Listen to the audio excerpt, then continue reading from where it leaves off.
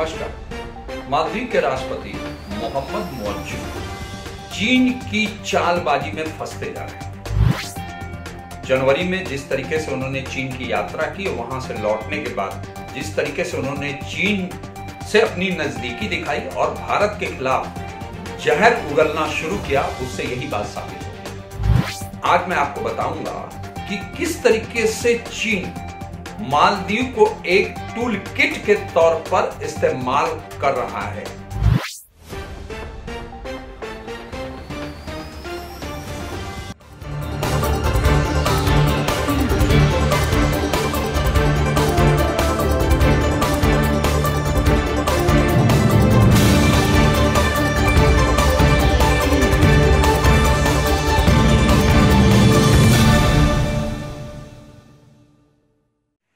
नमस्कार। मालदीव के राष्ट्रपति मोहम्मद मोजू चीन की चालबाजी में फंसते जा रहे हैं। जनवरी में जिस तरीके से उन्होंने चीन की यात्रा की, वहाँ से लौटने के बाद जिस तरीके से उन्होंने चीन से अपनी नजदीकी दिखाई और भारत के खिलाफ जहर उगलना शुरू किया, उससे यही बात साबित होती है।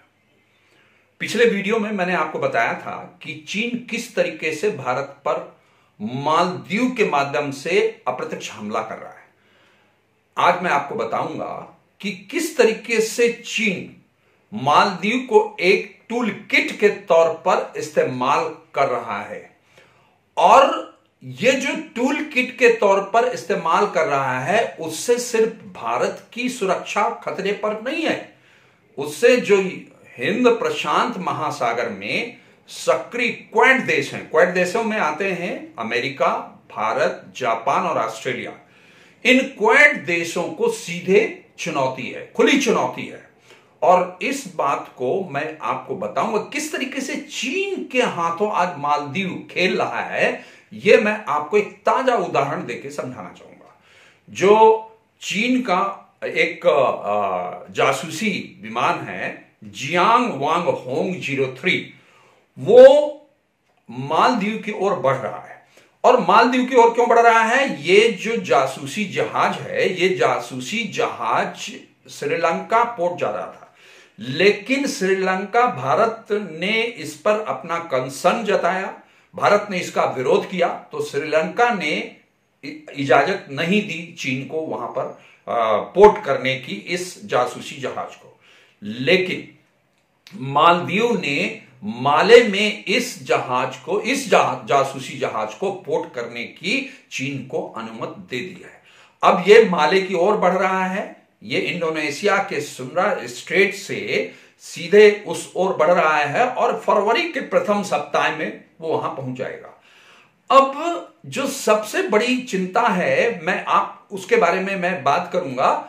मैं आपको यह भी बताऊँगा कि आखिरकार जो मालदीव और भारत जिसके बीच बहुत, कई दशकों तक बहुत अच्छे संबंध रहे, बहुत मधुर संबंध रहे, अच्छे मित्र रहे तो ये अचानक रिश्ते नहीं खराब हो गए।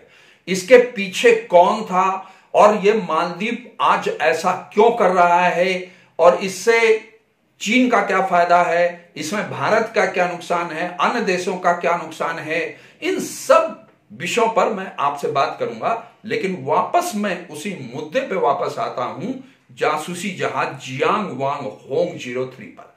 Xiang Yang Hong zero three, जो जासूसी जहाज़ है, इसको जो चीन कहता है, चीन इसे जासूसी जहाज़ नहीं कहता, वो इसे सिंपली रिसर्च जहाज़ कहता है कि ये रिसर्च करने के लिए जहाज़ भेजा जा रहा है। लेकिन ऐसा नहीं है। ऐसा क्यों नहीं है? जो चीन के पास कई जासूसी जहाज़ हैं मैं आपको बताना चाहूँगा कि ये जो शिप है उसके, वो इस्तेमाल जो है रिसर्च के लिए नहीं करता, जासूसी के लिए करता है। और ये जो है हाईटेक सर्विलांस सिस्टम से जुड़े हुए हैं। इसमें पूरे जासूसी के इक्विपमेंट्स लगे हुए हैं।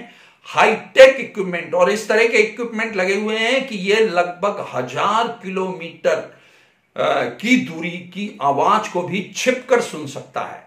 कहने का मतलब यदि श्रीलंका के पोर्ट पर यह जहाज़ स्थित है तो वो इतनी दूर की आवाज़ को, हज़ार किलोमीटर की आवाज़ को सुन सकता है। और इससे क्या खतरा है? भारत को क्या खतरा है? तो जो सबसे बड़ा खतरा है भारत को, जो भारत इसके रेंज में जो केरल है, आंध्र प्रदेश है, और तमिलनाडु के जो तटीय नौसेना बेस हैं, और जो भारत का जो इसरो का चांदीपुर सेंटर है, जहाँ से हम अपने सैटेलाइट की लॉन्चिंग करते हैं रॉकेट हम की लॉन्चिंग करते हैं इसरो इसरो के उस केंद्र को भी ये जासूसी जहाज़ ट्रैक कर सकता है।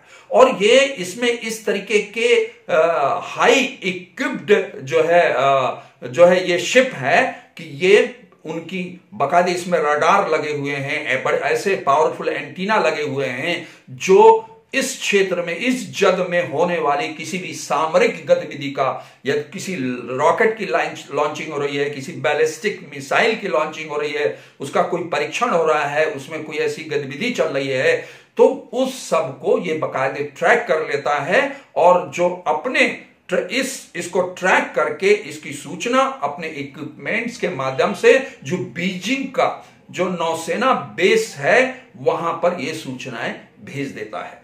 और चीन की बेचैनी यह है कि क्वेट देशों की गतिविधियाँ जो हिंद महासागर है, प्रशांत महासागर है, अरब सागर है, वहाँ पर चूँकि उनकी गतिविधियाँ चलती रहती हैं, और ये जहाज़, जासूसी जहाज़ खास तौर से तब विशेष रूप से सक्रिय हो जाता है जब इस क्षेत्र में किसी मिसाइल की टेस्टिंग होनी हो, कोई परीक्षण होना हो तो वो उसकी बेचैनी है और वो चाहता है कि ये न के प्रकार वो जो क्वेट देश है कोएट देश के जो क्षेत्र में उनकी सामरिक गतिविधियों में जो है वो एंट्री किसी तरीके से मार ली। तो यही उसका जो है प्रयास रहता है। तो ऐसी स्थिति में यह बहुत हास्यास्पद है जो चीन कहता है कि नहीं, वो तो महज रिसर्च शिप है उसका, जिसके माध्यम से वो सिर्फ़ अनुसंधान करता है। तो वास्तविकता यह है कि अनुसंधान नहीं करता है, चूँकि जो अमेरिका का रक्षा विभाग है, उस रक्षा विभाग के जो विशेषज्ञ हैं, उनका मानना है कि इन जो शिप ये जो शिप हैं जासूसी जहाज़ है उनको ऑपरेट कर, करने का काम चीन की सेना यानी पीएलए करती है।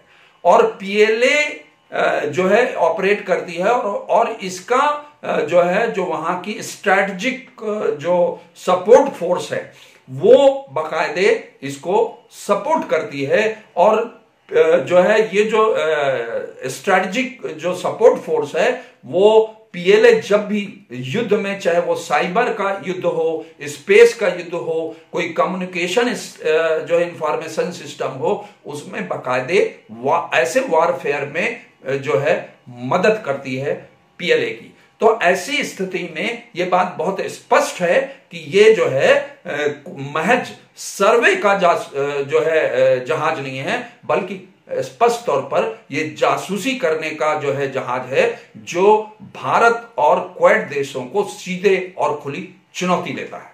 मैं आपको बताना चाहता हूँ कि जो चीन है, वो हिंद महासागर, प्रशांत महासागर और अरब सागर में जो क्वेट देश हैं, उन क्वेट देशों की उपस्थिति और वहाँ उनकी चलने वाली सामरिक गतिविधियों से काफ़ी डरा हुआ है। वो किसी भी तरह यहाँ तक, यहाँ एंट्री करना चाहता है और अपनी उपस्थिति दर्ज कराना चाहता है। यही कारण है कि वो लगातार अपने जासूसी जहाज़ भेजना और भारत के पड़ोसी देशों को जो है अपने चंगुल में फंसाना, ये सब कुछ वो करता रहता है। अब मैं आपको बताना चाहूँगा कि जो मालदीव है, मालदीव अचानक भारत के खिलाफ नहीं हो गया। इसका जो इंडिया आउट कैंपेन, देखिए, मालदीव भारत का एक बहुत ही अच्छा मित्र देश रहा है। 1965 में मालदीव स्वतंत्र देश बनता है। उसके बाद जो है, लगातार भारत के साथ उसके संबंध अच्छे रहते हैं। लेकिन जब वहाँ लोकतांत्रिक प्रक्रिया शुरू होती है 2008 में तो 2008 तक संबंध भारत के, उसके बाद जब चुनी जाती है तो भारत के संबंध काफ़ी अच्छे रहते हैं। लेकिन 2013 में वहाँ पर जो अब्दुल्ला यामीन वहाँ के जो राष्ट्रपति चुने जाते हैं, वो चीन के काफ़ी करीब पहुँच जाते हैं और इसके बाद वो जो है भारत के खिलाफ जहर उगलना शुरू कर देते हैं।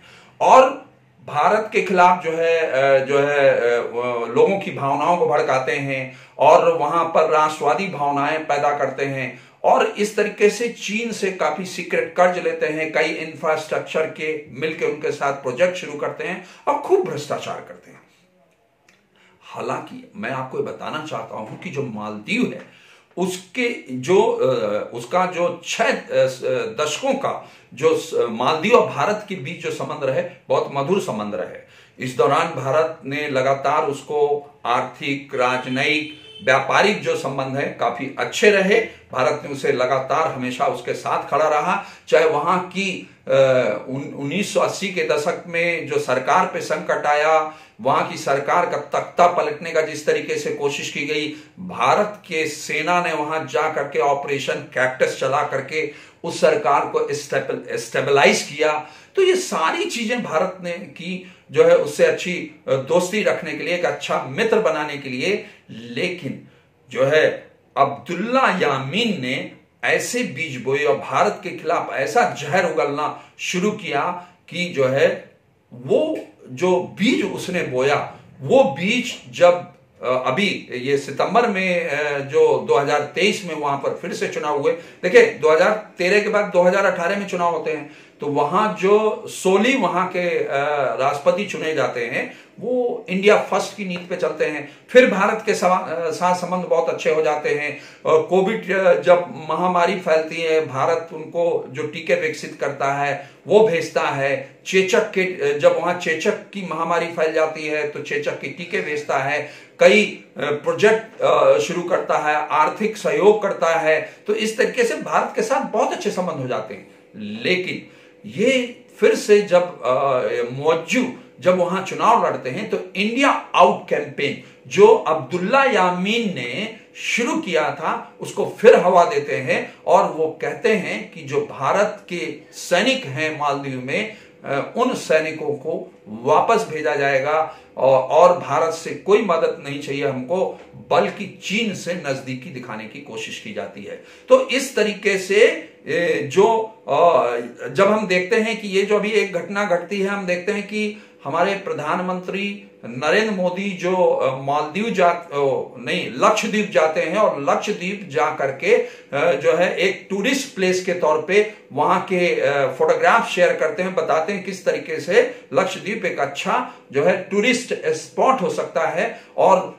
मालदीव के जो मंत्री हैं, तीन मंत्री उस पर जो है आपत्तिजनक टिप्पणियाँ करते हैं, प्रधानमंत्री पर करते हैं, लक्ष्य द्वीप की स्थिति पे करते हैं, उसको लेकर के जिस तरीके से भारत सरकार स्टैंड लेती है, भारत के लोग सोशल मीडिया में बकायदे एक कैंपेन छेड़ देते हैं, उससे जो है, वहाँ के राष्ट्रपति और वहाँ की सरकार मालदीव की थोड़ा डर जाती है और डर के इन तीन मंत्रियों ने जिन्होंने टिप्पणी की थी, उनके खिलाफ एक्शन लेती है, उन्हें सस्पेंड कर देती है। हालाँकि, मज़ेदार बात यह है कि उनको ना हटाया जाता है, ना सरकार इस पर माफ़ी मांगती है, और उल्टे जो मौजू हैं, वो चीन की यात्रा पर चले जाते हैं, और यात्रा से लौटने के बाद फिर चीन की तारीफ़ करना और भारत के खिलाफ जहर उगलने का काम फिर करते हैं तो उससे यही पता चलता है कि मालदीव किस तरीके से चीन के हाथों में